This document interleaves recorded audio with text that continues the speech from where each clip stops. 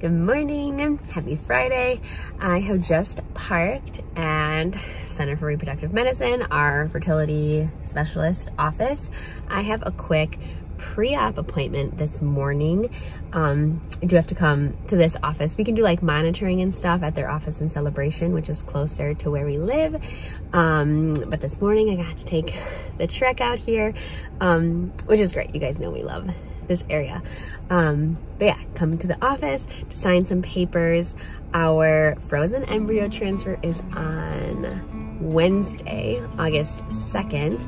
Um, so yeah, this is like the last bit of like housekeeping to do before that. I start my progesterone and oil shots tomorrow, five days from like five days before transfer.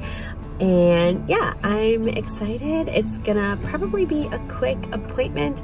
Like I said, just signing some paperwork, but again, like this sort of stuff has to get done before the, I mean, it's called like pre-op, like an operation. I don't have to go under or anything like that, but I mean, we've shown our frozen embryo transfers in the past, but so I'm excited. I've got, I'm like, I'm like giddy today. I'm gonna go in because it is like I'm I want to get up there with like enough time to like be on time.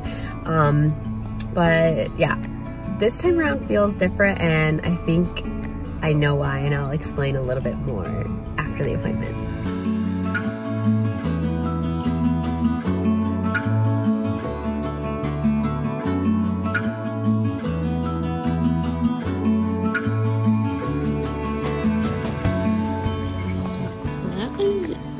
Super easy. I only had to sign one document. So downstairs is the surgery center. So what's nice about our clinic is that all of like the procedures and even like bigger surgeries, like I could have had my endometriosis removal surgery here had this been here in uh, 2018. But yeah, our embryos are over here and we're coming for you, babies. So it, the timing worked out well for us because it was really when we started our treatment here that they had really like made like the surgery center into what it is. Like it was like sort of just like com like coming up was I when I had my endometriosis surgery, um, my doctor was still performing those at it was then the Florida hospital, but now it's like I think it's called AdventHealth Hospital. I think that's what like the actual hospital is called. Right down the road. Um, but yeah, so that is so nice that everything is right here. Um, and then like I can do my blood work before the procedure upstairs and then go right down and it's not like driving across the hospital and it being like familiar and everything's just right here. It makes things easy. And don't, I, I did say we're coming for you babies, but we are only transferring one embryo. And that's really what I had assigned for today is that I give them permission to thaw one. Um, we have four frozen and so they will thaw one and then that's what we'll transfer. Like we've said, we're so like grateful for this place and we're very excited and it's just like, it's like the emotional difference though this time around? Like just like being here is like it is so surreal to me. And it's like what I was referring to when I parked was that this transfer like just feels more you know giddy and exciting. And you know we have the experience under our belt. We have our two boys home with us. Um but like gearing up for Jamesy's transfer like was very, a very different state of mind, very different place. Um, it was like, was probably our lowest point, like just, you know, experiencing our, our loss with Sweet Pea beforehand. Um, our first transfer just did not work. It's a fresh transfer, just straight up just didn't work. Um, and then obviously losing Sweet Pea and then going into, you know, a mental state that we'd never experienced before. Um, and like the, the transfer is like, it's not comfortable. It's not enjoyable. It's like, it is like, you just, I don't want, like the, the word that keeps coming to mind is like a state of desperation of just like hoping like this is finally going to be the thing that works for us. And for so long, we felt that way, you know, when we started just like, I was on, I think I was on Clomid, um, like our first bit of fertility treatments, you feel like, okay, this is going to be it. And then you, you do, I, I got my endometriosis removed. We're like, okay, this is going to be it. And then we did IUIs. We thought, you know, every step you think, hopefully, please, you know, you feel like you're just pleading that this is going to be it. And, you know, eventually, like the frozen, we've had two frozen embryo transfers and both have worked. And obviously we did, you know, we end up having a loss with one of them. Um, but it took those three transfers to get to Jamesy and it just felt like, when will this work? When, what will be our answer? And so, you know, right now I'm feeling like frozen embryo transfers, like that is our, that is our answer. And, you know, obviously we have Teddy, um, who is a spontaneous pregnancy. Um, but we didn't get pregnant trying this time around. We, we, we did want to try to not have to get to this point again, um, to bring a third baby home. Um, but because we are so blessed to have like the embryos that we did from our from our egg retrieval from IVF. It feels so surreal to like not have to take all those extra steps and just sort of like prep my body and go. Um, and so that like that desperation, like it, it doesn't, it's not the same this time around. I do feel very emotional. I do feel like a lot of weight. I feel, you know, I'm, I'm yearning that this works. I mean, we have been trying. And so like, I was hopeful that I would, you know, I would have a positive pregnancy test. I've seen a lot of negative pregnancy tests in the last six months. So the only way I can, you know, explain it is like, it doesn't, it, it feels more like we know our answer um, to what works for us and we're using the tools that we have. And even though we'd rather not have to use the tools, we are so, so, so incredibly blessed to have the tools, to have our embryos, and to have the team we have here behind us. So that's my little rant of why this feels a bit lighter this time around. Um, I do feel, I mean, like we've said, it's like, it's a roller coaster. There's so, even just like the smell in there, like, it takes my breath away. Being in this parking lot, we would leave an appointment, get in the car, and call my mom and tell her everything about what just happened. So like right now, like I should be calling my mom. Um, and she is no longer here to for me to call. So like there's like that weight that like oh my gosh, like it just feel like it just it's such a familiar place, but it's so foreign in so many ways because it's life is different than it was three years ago. It's if you would have told me three years ago that today would be my like what we have experienced and how I like our what like if I told you about today I would never have believed you and what's even more wild is that we were literally some of the last transfers in 2020 before the clinic shut down with COVID so like there's even that aspect to it of like I don't know it's wild it's it's been a wild ride um so yeah I have like a pit in my stomach but a lightness to my brain. It's it's a lot and that's what fertility treatments is a lot. And so that is why we're always like keen to share our story that so many people go through this. When I pull in this parking lot and it's packed, I just feel, I just am like, all of these people are going through it. And even though a lot of people's stories are different, you never know why people are here. It is just truly a testament that you're not alone. If you're going through this, our message box is always open. Um, we're truly, we're truly here for you and we appreciate how much all of you have been here for us through this. I did not expect to talk this much, um, so I'm gonna head home. Jamesy's speech was actually canceled for this afternoon, so now we just get to go home and be with my babies and have a relaxing day. I'm popping into our old local Trader Joe's real quick for just a treat. Hey, Daddy.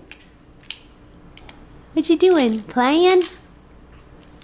And so even though we did have a relaxing day at home, we are going to Magic Kingdom tonight. It is the Erhardt's last night of their vacation. So we're gonna meet up with them there. Also, if you saw this on the ground, Jamesy found my to-do list. it's actually this like weekly planner thing that I've really been liking. Thankfully it was Friday and we were basically done with all the tasks, but this is how it looks. I got it for like less than $10 on Amazon. We really have had just like a low-key day. Peter's finishing up his last meetings, Jamesy's taking a nap, and I'm gonna start making dinner. A lot of you asked for a cook with me, so I'm gonna do a cook with me. I am making vegan enchiladas. So I'm starting with the filling. I have a red pepper, frying up in some olive oil, salt, pepper, minced garlic. Um, so I'm gonna start with this, just because like they're the crispiest, you wanna get these nice and tender first. This is such a funny angle. Um, next I'm gonna chop up some zucchini, just a single zucchini. Um, the main filling is black beans, and I have another kind of bean, maybe white beans. Um, yeah, so this is like just adding a little bit extra flavor, the zucchini and the red pepper.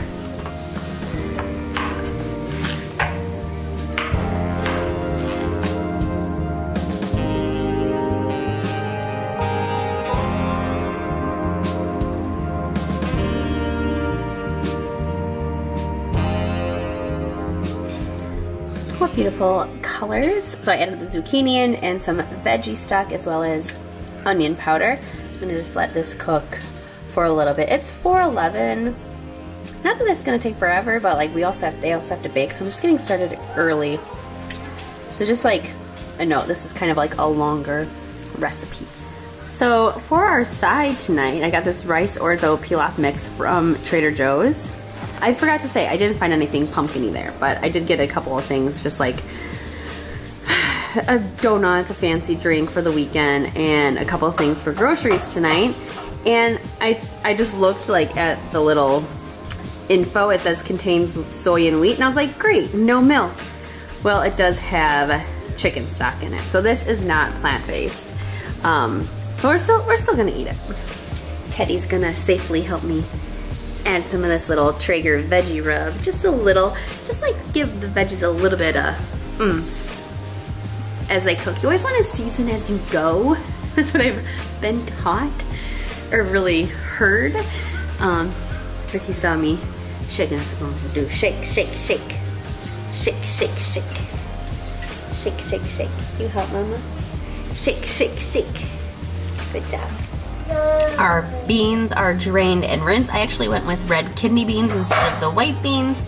Um, so I'm gonna throw these in now that the veggies are tender and give them a little like smash. I'll probably add in some veggie broth just so that the inside, um, like the texture of what's going inside the enchilada is nice and smooth. They don't all have to be smashed, but just like most of them.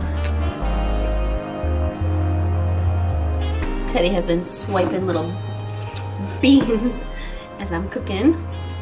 Um, and yeah, I'm just gonna like mix it up, maybe get a fork in there, press it down a little bit, and then I'll show you once it's the consistency that I like.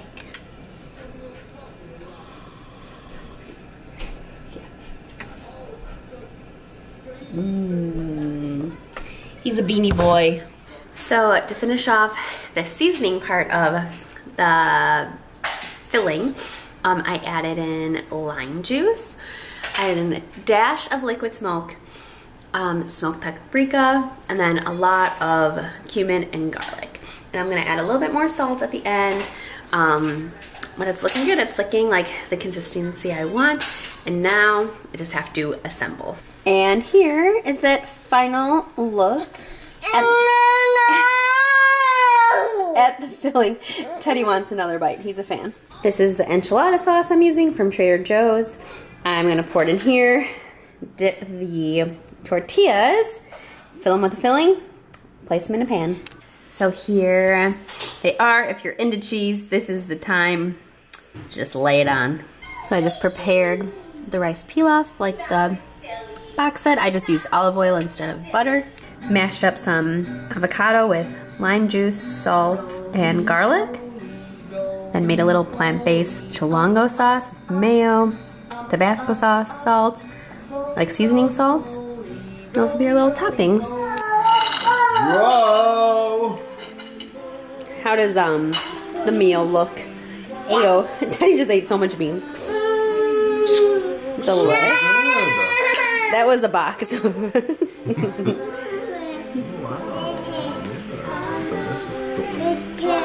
Mm -hmm. It's not chicken. Peter says this is an Italian beef stance kind of meal, so we're eating at the island. By the way, there's Italian beef at the Food and Wine Festival. We gotta try it. Let's go! so we're at the Polynesian, gonna head to what is the big building called? The big old box? The the it's like the ceremonial house, yeah. I think you're talking about the castle. to hop on the monorail to go to Magic Kingdom. It's our last night that we'll see the Erhardts. They go home tomorrow. Yeah. So we're taking the scenic route from where we parked and uh, soaking up some Polynesian vibes. it's the weekend. It's the weekend, and I have a short week next week at work. Booyah! We didn't think about something. Oh, do the hula. We didn't think about something coming the scenic route. And it's the fact that our children love the Polynesian beach sand.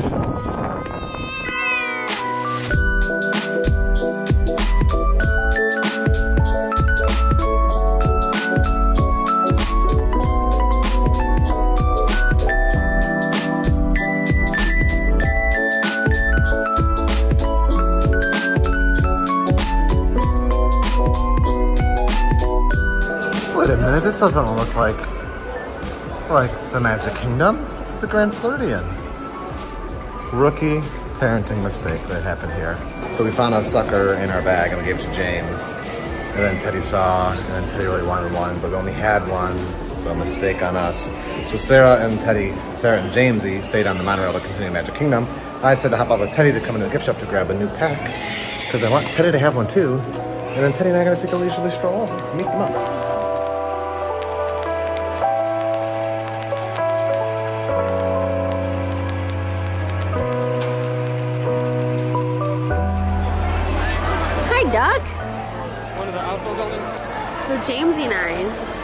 Just did something I have not done in a long time, and that is cruise the Emporium without a stroller, and it was glorious. quick little update. I've never walked this path during the day, I've never walked this path going in this direction. And in hindsight, it probably would have been way quicker if I just went down to the gift shop and went back up to the monorail. But this is still sweet time with my little Teddy. Ah, can't see it because I, I, I have my phone and not a zoom lens, but when you're walking this way. And you look that way, that's the ticket and transportation center, the parking lot or what some people call it, you can see the dolphin, the swan. Gonna be honest, I have no idea which one it is, but you can see one of those from over here. It's so weird after more than a decade of being like this. Disney junkie cast member, not cast member, local, not local, obsessiveness to see something from an angle you've never seen before. Cool. Ah, to be in Magic Kingdom on a Friday night, welcoming the weekend, this is the move. Walk to the flagpole, and then, boom, castle view. Looking glorious. Okay, somehow James and I ended up in this Swiss family treehouse. Haven't done this in a minute. Wow, is that cool? He was thrilled. While the Erhardts do some genie plussing, we're going into PhilharMagic. Are you stuck? Oh All right, a little bit of a longer wait, but it's gonna be worth it. Got front row, PhilharMagic.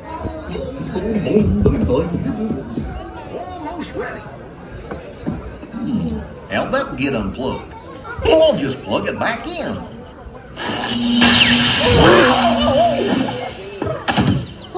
Yep, that's better. I don't think we give this Gaston and LeFou fountain enough love in the world. Especially at nighttime. So we think we're gonna do Ariel, but we do want to see the Erhardts, but they're they got a Genie Plus day today. So they were like hopping on their lightning lanes and everything. So that's what we were doing. We're Our own gonna thing. see fireworks. Yes. So we'll meet up for that. Then they have a Tron afterwards, so we'll see where the night goes. Yeah. With our big old massive party down these days. Uh-huh. Where what people mover is. Ooh, it's a solid one and good for a big crowd. Pure chaos. It's just chaos.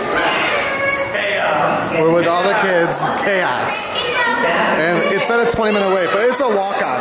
This is a walk on. Sarah's with Teddy getting the bottle in. Woohoo! I got some says give me some thumbs up. Thumbs up? Nice. What ride are we going on? Do you love it? Are you gonna sing Ariel songs? Yeah. Yeah. Scuttle. My story's not near as interesting as Ariel's. Oh, Ariel, the mermaid?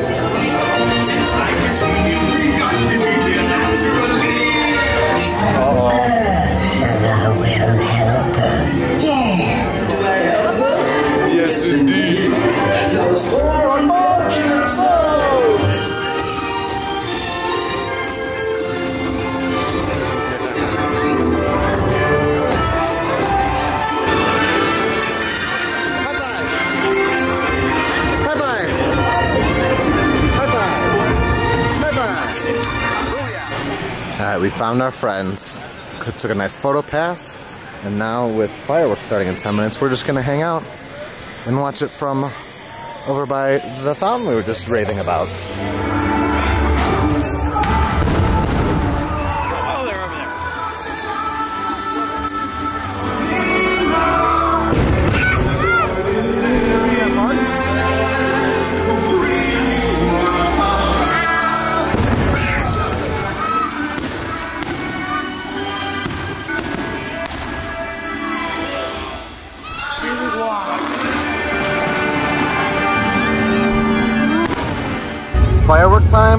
With a crate?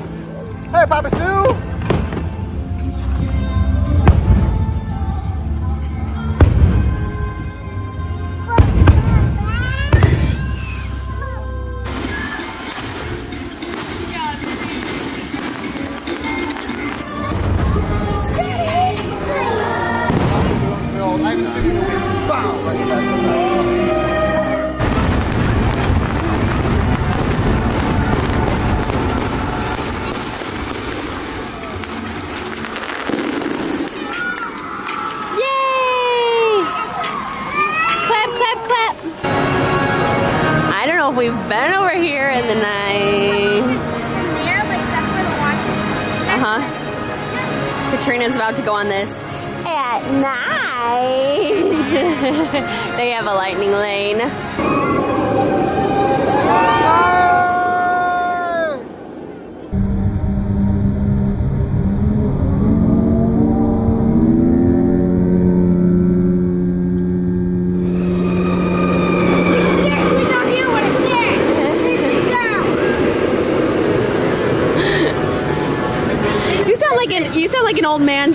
Telling people to get off your lawn. Uh, you mean old lady. Old lady. Yeah, I use grandma's cane and like I go, hey, get off my lawn.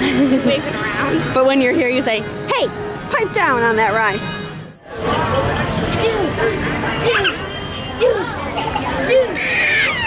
That is so funny. James is playing with a fan rather than using it because that's what happens when you're a big toddler. And we got Mr. Elvis hair over here. We opted for the ferry and we got very lucky Yeah. with it. We, we were one of the last families on it. Yeah. And so we took the ferry because it's actually not a bad walk to go from the TTC to the parking lots of the Polynesian. Yeah. So, said bye to Erhardts. That was a bummer. Yeah, always. It's late, but we're home. But I wanted to show you the worst thing ever is you make a fresh glass of ice water and you leave it at home all evening. Bummer. Guys, it's late. We're delirious. We're going to bed. But I want to let you guys know, as a parent of two and a dog, I am at the nice, responsible age of how old am I? 31? Or am I 32? You're 31. I'm 31. Oh, I can't breathe. I don't know where any of a particular part of my article of clothing are. So I, I did, in fact, through Sarah's guidance, we ordered a package of Hanes, Heinz, Hanes, from Amazon Prime that arrived today. Don't have to do laundry now. No, I think we just lost some clothes. It's good to be home. We know what our goals are. We know what we hope to accomplish. And believe me, it's the most exciting and challenging assignment we've ever tackled at Walt Disney Productions.